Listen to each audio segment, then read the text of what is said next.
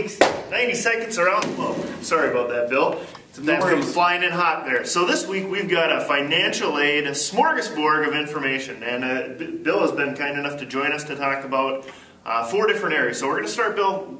What should students be thinking about in terms of FAFSA this time of year? Okay, well, uh, the, the, the basics are that, uh, that we need to get taxes filed, and then a couple weeks after that happens, then you need to file your FAFSA. You need to go to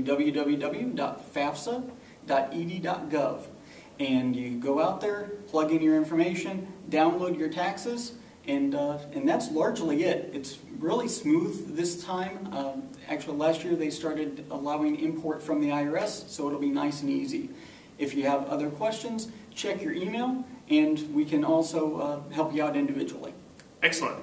Uh, being week 10 of the quarter, we're also sending out cost budgets, book voucher time, ordering books. What uh, information should students be watching for with that? Okay.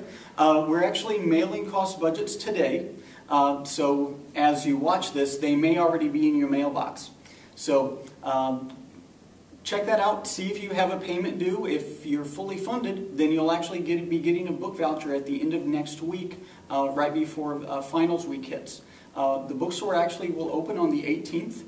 And if you need to make a payment in order to get your book voucher, just go ahead and, and get that in. The other thing is, if you need to modify that payment, where perhaps you don't need as much as the voucher indicates, um, then or we can change your the book allocation, whatever we need to do to tweak things. Let just let us know. Okay. So watch for your uh, cost budgets in the mail. If you have any questions about them, be sure to follow up with Financial Aid directly. Um, that's a wrap on this week's Week 10 90 Seconds Around the Globe. Have a great day.